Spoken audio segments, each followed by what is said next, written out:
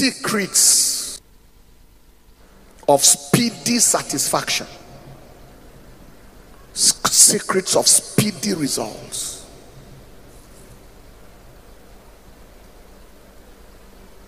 God is a God of progress.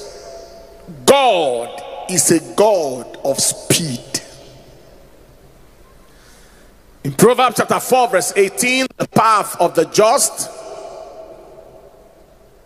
is as the shining light that shineth more and more, further and further unto the perfect day. Psalm 84, verse 7 they go from strength to strength. Every one of them in Zion appeared before God. Those of us who appear before God, we are not permitted to be stagnant in life. They go from strength to strength. They go from level to level. They go from glory to glory. Every one of them in Zion appeared before the Lord. Isaiah chapter 43 and in verse 19, he said, Behold, I will do a new thing. Now it shall spring forth. That word spring is a word of urgency.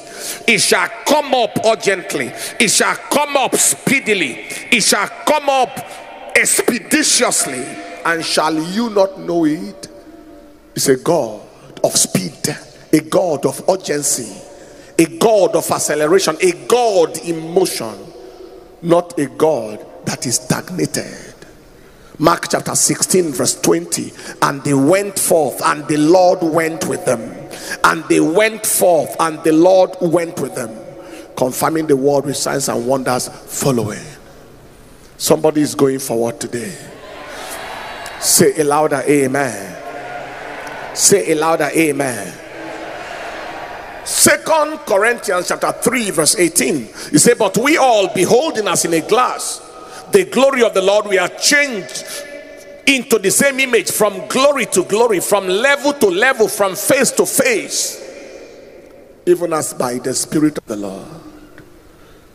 So shall it be. My personal life is not at the same level this year like last year.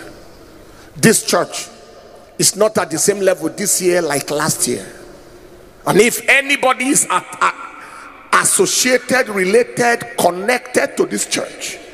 Your life is not permitted to be at this level this year as it was last year. Spiritually, materially, socially, financially, maritally, and in every otherwise, you can never be at the same level. If you are saying amen, say it like a believer. Lift your hand, say, I am going forward speedily, urgently, by fire